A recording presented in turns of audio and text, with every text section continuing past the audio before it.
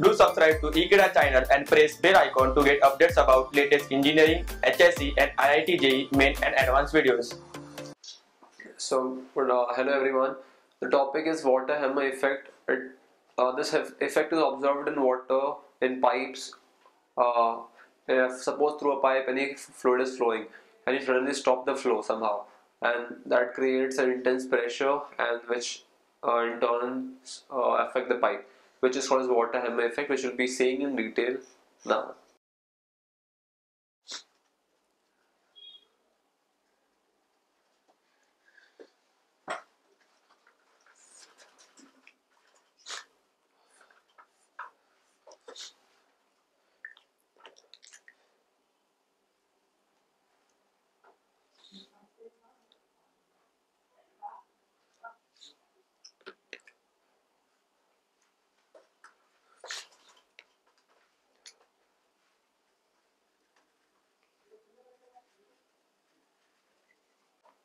So I'll explain the water hammer effect. Here what happens is suppose the fluid is flowing through a pipe.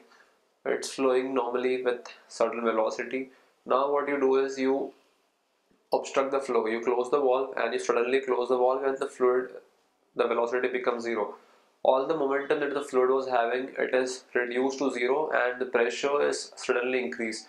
And this pressure is so much that it can burst the pipe also and it can damage the joints of the pipe and it can have various effects on the pipe. The pipe may burst also.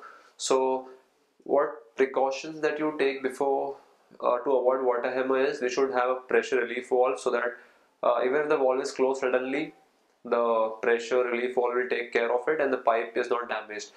Next is what you can do is uh, close the valve slowly. If, even if you're closing the valve close it slowly because sudden closing may lead to very rapid increase in the value of pressure. Slow slow closing can lead to slow uh, increase in pressure which will not have that much effect. So rapid closing of the valve should be avoided. And the magnitude of the pressure depends on the rate at which you close the valve. Very high rate of closing the valve very fast closing the valve will uh, increase the pressure suddenly and it will damage the pipe also it depends. The pressure generated depends on the diameter of the pipe. If the diameter is small or big it uh, changes the pressure that is generated in the pipe. It also depends on the length of the pipe. It also depends on the type of material that the pipe is uh, made of. So uh, the precaution that you should take before to avoid water hammer is uh, the velocity of the fluid should be slowly reduced. It, not, it should not be instant, uh, intesti uh, instantaneously released, uh, reduced to zero because that will lead to sudden increase in pressure and that is called as stagnation pressure which will ultimately damage the pipe and make the joints weak and it will also lead to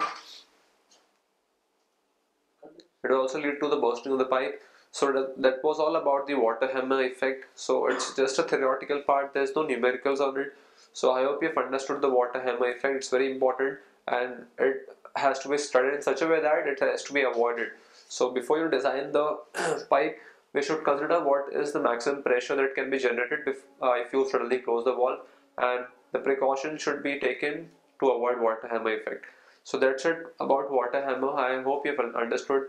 Thank you.